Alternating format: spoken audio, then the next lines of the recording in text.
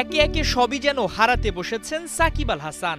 মান, যশ, খ্যাতি কিংবা সম্পত্তি, সবকিছুই যেন কমছে একটু একটু করে। এসবের বাইরে এবার তো নিজের নামটাই হারিয়ে ফেললেন আইসিসি লিস্ট থেকে।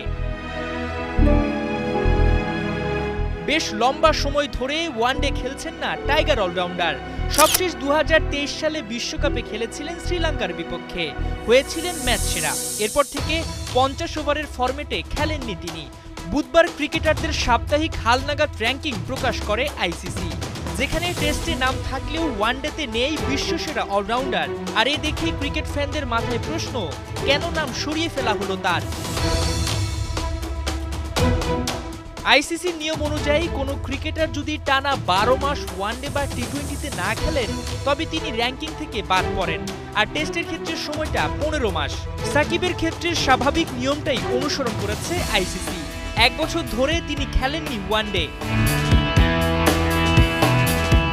এর আগে টি টোয়েন্টির র্যাঙ্কিং থেকেও সাকিবের নাম সরিয়ে ফেলে আইসিসি। সাঁত্রিশ বছর বয়সী তারকা ক্রিকেটার শর্টার ভাষণ থেকে ঘোষণা দেন অবসরের। নাম থাকার তাই নেই কোনো কারণও।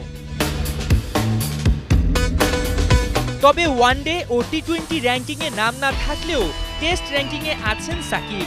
ব্যাটিংয়ে পঞ্চান্ন ও বোলিংয়ে বত্রিশ নম্বরে অবস্থান করছেন তিনি। এখন দেখার পালা সাকিব দু হাজার পঁচিশ সালে চ্যাম্পিয়ন্স ট্রফি খেলে নিজের ইন্টারন্যাশনাল ক্রিকেট ক্যারিয়ারের টিটি টানতে পারেন কিনা?